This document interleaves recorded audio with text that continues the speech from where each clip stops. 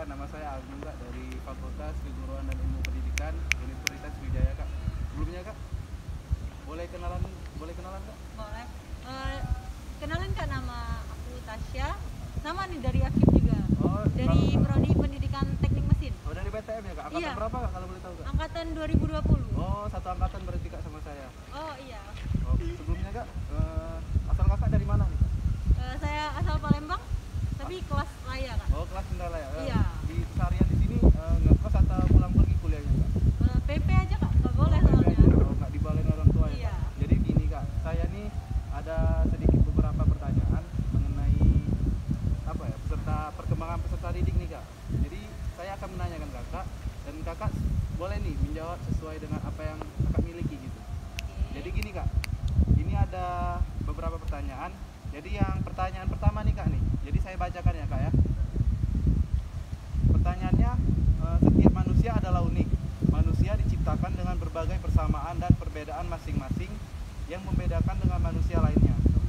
Seperti contohnya, Budi seorang siswa yang masuk ke sekolah menengah kejuruan di kotanya yang tinggal sekarang. Siswa tersebut memilih masuk sekolah menengah kejuruan karena saran dan pertimbangan dari keluarga. Alasannya adalah setelah lulus maka akan mudah untuk mendapatkan lapangan pekerjaan. Keluarganya termasuk keluarga yang kurang mampu sehingga akan kesulitan ketika ia mau melanjutkan ke jenjang pendidikan yang lebih tinggi dari kejuruan tersebut. Di sisi lain, sebenarnya ia tidak berbakat di jurusan SMK sekarang ini. Ia berbakat di bidang komunikasi.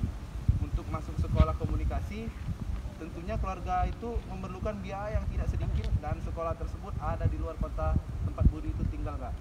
Jadi eh, sebagai seorang pendidik nih, solusi apa yang akan kakak berikan kepada Budi sehingga dia bisa menerima keadaan ini dan memaksimalkan potensi yang ada pada dirinya itu? Baik, boleh langsung saya jawab kak. Iya boleh, silakan. Eh, jadi pertanyaan yang tadi kan mengenai si Budi eh, adalah siswa dari keluarga kurang mampu nih kak ya. Ya, bersekolah di SMK sedangkan ia tidak memiliki minat di bidang tersebut Ya, dan memiliki minat di komunikasi. ya dia berminat di sekolah kejuruan tapi di bagian Komunikasi. jurusan komunikasi. Oke. Sedangkan dia sekarang ini di sekolah kejuruannya ini eh, masuk bukan di fashion dia gitu kak. Oke. Boleh dilanjut kak? Oke. Jadi sebagai calon tenaga pendidik nih menurut Ya. saya yang harus dilakuin untuk siswa yaitu memberikan motivasi, masukan terus gini nih kayak teknologi sekarang kan udah canggih banget. Kayak yang namanya komunikasi bisa dapat dari mana-mana, Kak. Kayak kita buka sosmed itu udah termasuk di komunikasi. kita buka Instagram bisa dapat ilmu kita buka eh, apa namanya YouTube YouTube mudah banget diakses kan sekarang jadi kita arahin siswa tersebut untuk belajar lagi tetap memperdalam ilmu komunikasi tetapi eh, SMK biarin kak ambil jurusan yang ia punya nih sekarang. Tetap jalanin perlahan akan muncul minat dari siswa tersebut kak. Karena yang namanya apa sih kak kayak penasaran gitu. Siswa tersebut akan penasaran sama dunia yang ia sekarang ada terus dia bakal walaupun dia sekarang belum nih kayak baru masuk mungkin kak ya si Budi. Jadi kita ajak dia bicara terus mengenai SMK apa itu SMK terus apa yang ia sedang geluti sekarang. Kayak bener juga kata orang tuanya mungkin ke depannya akan lebih mudah jika kalau dia udah punya minat di situ kak. Mungkin menurut saya gitu kak. Mungkin jadi ini, jadi saya bisa menyimpulkan nih dari jawaban kakak tadi bahwasanya mencari tahu informasi melalui sosial media gitu kan. Iya. Nah dari sosial media tersebut mungkin ia juga bisa eh, mencari relasi ataupun kontribusi lainnya yang nyata gitu. Kan di sosial media itu tentu banyak tuh pamflet-pamflet dan brosur-brosur mengenai pendidikan, apalagi tentang beasiswa nih kak. Nah mungkin bisa ditambahkan kak sedikit penjelasan arahan untuk si salah satu contoh tadi si Budi itu agar bisa mendapatkan beasiswa melalui sosial media tersebut kak. ya benar sih kak Eh, sekarang kan udah zaman banget yang namanya sosial media terus beasiswa tuh udah banyak ya kan? Sebagai tenaga pendidik mungkin kalau si Budi kurang sam- kurang tahu gitu kan kita dari sekolah nyarani ke mereka untuk ikut di itu gitu kan? Jadi dia untuk mencarinya kan kita dari sekolah bantu cari terus kita data nih siswa-siswanya mungkin kita bantu kita kasih ke dia terus kita kasih motivasi lagi untuk tetap di sini terus dengan beasiswa yang ada gitu kak so, gitu menurut saya gitu kak Oh jadi intinya itu tetap kita menjalankan hubungan kita di sosial media gitu kan, Hmm. mencari tahu informasi-informasi tersebut dan tidak lupa terus menggali informasi mengenai beasiswa dan tidak lupa juga eh, pihak sekolah itu harus bisa mengarahin siswa-siswa tersebut seperti Budi, apalagi Iya. dia memiliki bakat di komunikasi seperti itu kak. ya Mungkin bisa dilanjut ke pertanyaan kedua nih kak. Boleh Untuk yang pertanyaan kedua nih kak, eh, dia ini mengenai siswa juga. Sebut saja namanya Andi kak, merupakan seorang siswa yang bersekolah di sekolah menengah kejuruan di sebuah kota besar di Pulau Sumatera. Ia merupakan seorang yang memiliki bakat di dunia teknik. Hanya saja, ia orangnya tidak percaya diri, pemalu, overthinking. Ia selalu ragu akan keputusan dan tindakan yang ia buat. Ia takut keputusan yang ia ia buat akan ditolak oleh orang lain atau yang bisa membuat dia ngedon kayak gitu kak. Sebagai seorang pendidik nih kak, solusi apa yang akan anda berikan kepada Andi sehingga dia bisa menerima keadaan ini dan memaksimalkan potensi yang ada pada dirinya tersebut kak. Mungkin bisa dijawab kak? oke bisa berarti si Andi ini orang yang tidak percaya diri gitu kak Iya ya kak, dia ini tidak percaya diri, pemalu. Pokoknya dia tuh tidak berani membuka suara. Padahal dia itu memiliki potensi gitu. Boleh dilanjut kak? boleh. Jadi gini saya jawab nih kak ya. Untuk siswa yang gitu tuh sekarang tuh banyak tuh emang kak ya. Kayak overthinking tuh malam-malam berpi- berpikir yang aduh gue nggak bisa nih. Susah nih gini. Mungkin bisa dikasih kita datengin tuh anak ajak ngobrol kan cari masalah apa kenapa kok kan kamu bisa gitu kasih motivasi yang bisa ngebangkitin semangatnya dia kayak em, mungkin juga bisa kita ajak face to face banget oh tuh iya, iya. ketemu langsung gitu Iya. kan, berbicara sambil ngopi atau gimana iya gitu. boleh gitu Ah. untuk bangkitin semangatnya Iya, dia kan betul betul. Eh, ya, terus- meni- menimbulkan pendekatan juga gitu. iya benar kalau untuk masalah overthinking itu bisa diatasin dengan banyak-banyak eh, jangan terlalu banyak sosial media kak menurut betul, saya betul. karena di zaman sekarang tuh kan sosial media tuh kayak bisa di satu sisi dia punya negatif satu sisi positif Ya, gitu ya, sisi Benar kan, negatif dan positifnya ya betul. Ya, jadi untuk ningkatin semangat dan kepercayaan diri anak tersebut, kita terus ajak ngobrol, ngobrol, ngobrol. Terus setelah tahu apa masalahnya, kita cariin solusi buatnya, buat dia gitu kan. Intinya kayak diajak ngobrol, cari masalahnya, terus motivasiin lagi dia kamu itu bisa dan kamu itu baik gitu. Oh, jadi intinya tuh kayak eh, kita itu menarik orang tersebut dulu. Mm. Kita temuin, kita tanya itu apa sih yang membuat kamu tuh nggak percaya diri. Iya. Diajak mungkin salah satu dari dia nggak percaya diri atau berpikir selalu overthinking itu mungkin tidak adanya teman curhat ataupun tidak ada wadah untuk dia sharing gitu kak ya. Mungkin boleh saya lanjut ke pertanyaan ketiga nih kak. Boleh? Maaf nih kak, banyak pertanyaan nih, nggak tapi nggak apa-apa saling bantu gitu Iya. kak ya, sekalian sharing-sharing juga. Jadi untuk yang pertanyaan ketiga nih kak, eh, mengenai pembelajaran tatap muka telah berubah menjadi pembelajaran tatap maya. Hal ini disebabkan oleh adanya pandemi COVID-19. Banyak banyak sekali kendala yang dihadapi ketika pembelajaran daring, mulai dari sinyal buruk, kota terbatas, semangat dan kemandirian peserta didik yang lemah dalam pembelajaran sehingga pembelajaran terkesan monoton dan tidak menyenangkan.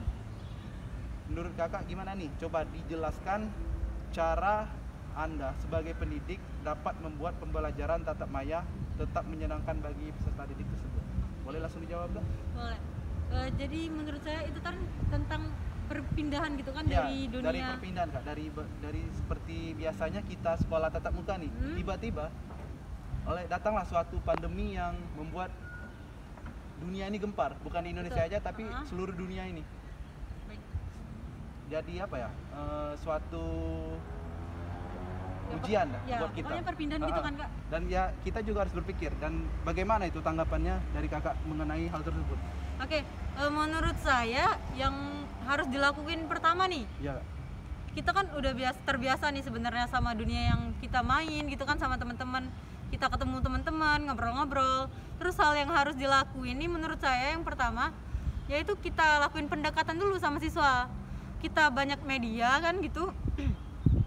yang biasa dipakai kan kayak Zoom gitu kan Google Meet atau gitu di situ kita kumpulin anak-anaknya kita tanyain maunya apa nih gimana caranya supaya belajar kita asik mungkin mereka akan ngasih kita solusi atau pengennya mereka apa kita kasih tahu terus kita juga harus sadar nih kayaknya kalau pembelajaran kita cek selama satu atau dua bulan atau seminggu nih nggak masuk sama anak-anaknya.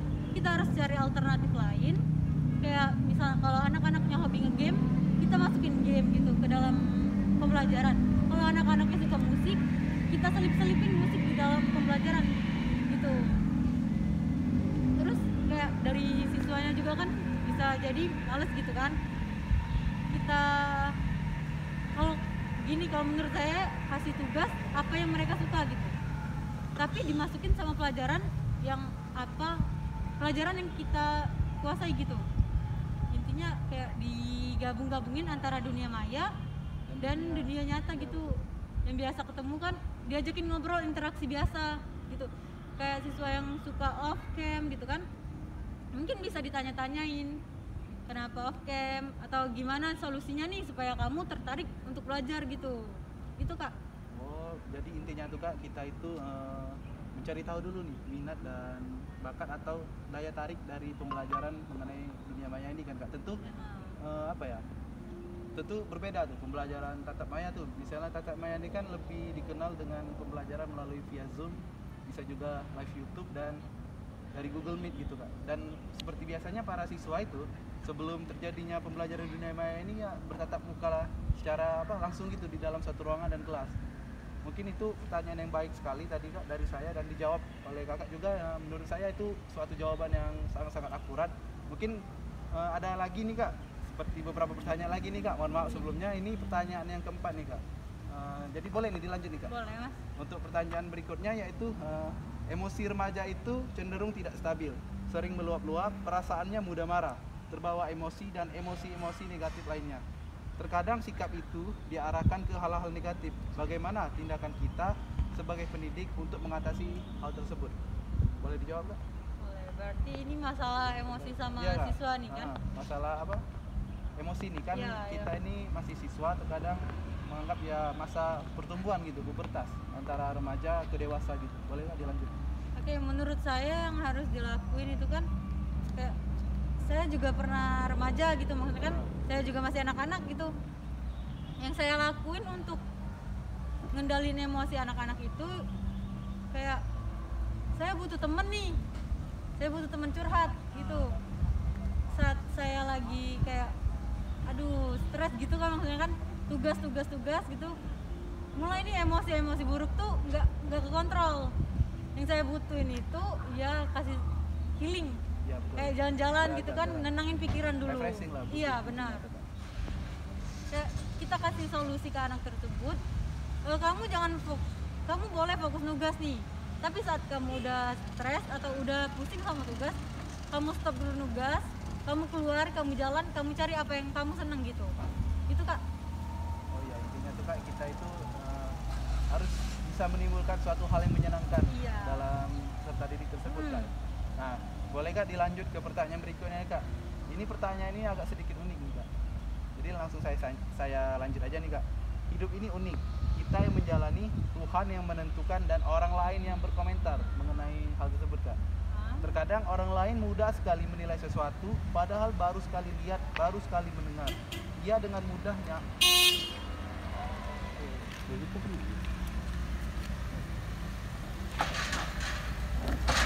Dikat dah, Maka dari dikat dah. Dikat baik eh. Nah jadi ini kak, jadi saya lanjut ke pertanyaan yang berikutnya nih kak. Ini pertanyaan ini agak sedikit unik nih kak, baik karena banyak sekali eh, problem ataupun masukan-masukan mengenai diri kita, baik itu dari ya langsung saja nih pertanyaannya nih. Ah, boleh Hidup ini unik, kita yang menjalani, Tuhan yang menentukan, dan orang lain yang berkomentar. Terkadang orang lain mudah sekali menilai sesuatu, padahal baru sekali lihat, baru sekali mendengar, ia dengan mudahnya melakukan judgment atau suatu penilaian terhadap diri kita gitu. Ini ada suatu cerita di mana ada seorang siswa yang sedang menempuh suatu pendidikan di suatu kota.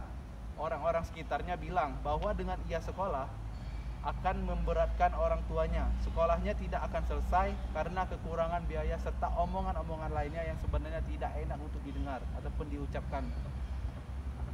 Jika kalian berada posisi tersebut, apa yang akan dilakukan? Jika posisi kalian sebagai pendidik, nasihat dan motivasi apa yang akan kalian berikan kepada siswa tersebut? Boleh langsung nggak dijawab? Iya, baik. Eh, kayaknya saya jawab yang dari sisi siswanya dulu nih kak Ya, boleh. Eh, jika saya jadi anak tersebut hal yang saya lakukan adalah saya akan berusaha tenang. Walaupun itu kita tahu nih sakit kan kayak kenapa sih orang nilai-nilai gitu? Padahal kan aku sekolah buat orang tua aku juga gitu kan. Yang harus dilakuin itu ya bener kayak yang awal saya bilang saya harus sabar tenang. Karena orang tuh cuma tahu covernya doang gitu. Kamu baru kenal aku kok bisa nilai aku gitu kan? Kayak kembali kepercayaan diri sendiri gitu. Walaupun se- terkadang tuh sering goyah tuh kan per- kepercayaan diri. Tapi kembali lagi kita harus eh, percaya akan kemampuan kita terus orang tua kita juga kayaknya masih ngedukung ya walaupun memang kayak susah gitu kan. Pokoknya kembali ke diri sendiri gimana cara ngatasinnya kayak tenang sabar biarin orang ngomong apa. Tapi aku, yang penting aku nggak ngelakuin yang apa yang mereka bilang gitu kalau dari tenaga pendidik sendiri boleh kak ya? Ya boleh boleh lanjut ya, lanjut, boleh lanjut aja. kalau dari tenaga tenaga pendidik mungkin ngelihat siswa yang gitu kan kayak dijudge teman-temannya gitu. Teman-temannya bilang yang nggak benar kita kasih dia masukan. Kita kasih dia tempat bicara kita kasih ruang gitu buat dia kan. Set- eh, terus ini tetap bilangin dia tetap jadilah dirimu sendiri gitu gak perlu jadi orang lain. Kamu adalah kamu kamu istimewa dengan apa yang kamu punya. Setiap orang itu punya keistimewaannya sendiri gitu kan? Em, mereka cuma cuma mau ngejatuhin kamu gitu. Saat kamu jatuh maka mereka akan senang. Maka kalau mereka udah ngejatuhin kamu kamu harus bangkit. Jadiin apa yang mereka omongin sebagai motivasi buat kamu bangkit kamu se- semangat lagi. Buktiin sama mereka apa yang mereka bilang itu salah baik kak. Eh, suatu jawaban yang menurut saya itu bisa apa ya eh, terjawabkan dengan sangat baik bukan? Karena ya kita itu ya harus percaya diri lah dengan diri kita sendiri. Tidak perlulah kita itu mendengarkan eh, omongan orang lain ya. Cukup kita menjalani apa tujuan kita, apa target kita gitu kan. Dan juga jangan lupa juga ya kewajiban kita gitu kan. Ya tetap harus tetap rendah hati bagaimanapun situasi dan kondisinya gitu kak ya. Jadi ini kak untuk pertanyaan terakhir nih kak nih. Ini agak sedikit unik nih mengenai diri kita juga eh, untuk apa ya lebih bisa maju dan berkembang buat ke depannya. Jadi gini kak pertanyaannya. Kata-kata motivasi apa yang paling mempengaruhi hidup anda sehingga anda menjadi lebih bersemangat dan ber- ber- dan berbahagia dalam menjalani hidup. Boleh dijawab kak? motivasi yang mempengaruhi hidup saya itu yaitu sebenarnya bukan dari orang lain sih ya kayak dari orang terdekat saya dari orang tua saya gitu kan bilang "Eh, ayah atau ibu nyekolahin kamu bukan untuk main-main gitu ayah nyekolahin kamu supaya kamu cerdas gitu supaya kamu pinter kamu bisa menjadi apa yang kamu mau dan bisa bermanfaat buat orang lain. Kayak mereka nggak mau nih mereka hanya sebatas SMA tapi anaknya juga sebatas SMA gitu. Jadi mereka tuh mau menjadi anaknya tuh lebih baik gitu. Jadi motivasinya tuh datang dari orang tua kak. Jadi saat saya lagi mungkin nggak kepikiran nih aduh eh mungkin saya lagi capek nugas kayak soal sebelumnya tadi kan. Saya pi- berpikir ulang. Saya berada di sini karena orang tua saya. Kalau saya nggak ngejalanin ini dengan baik maka orang tua saya yang akan kecewa. Bukan hanya diri saya sendiri gitu kak. Jadi kembali lagi berarti motivasi yang saya buat itu mungkin dari da- saya sendiri kak yang buat. Ah, dari diri saya sendiri untuk saya sendiri dan untuk orang lain gitu. Gitu kak Jadi intinya tuh kayak tak lepas dari peran kedua orang tua gitu. Iya. karena dia sudah membesarkan diri kita tuh dari awal yang kita merangkak sampai tumbuh dewasa sampai sekarang ini.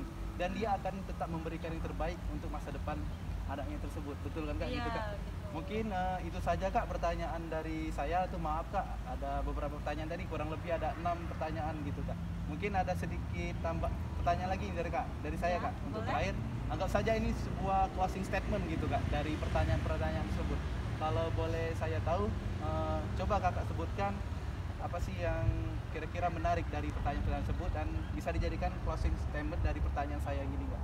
Eh, sebenarnya yang kalau menurut saya yang menarik itu dari pertanyaan peralihan pendidikan gitu kan dari mulai eh, dari daring eh dari luring tiba-tiba daring.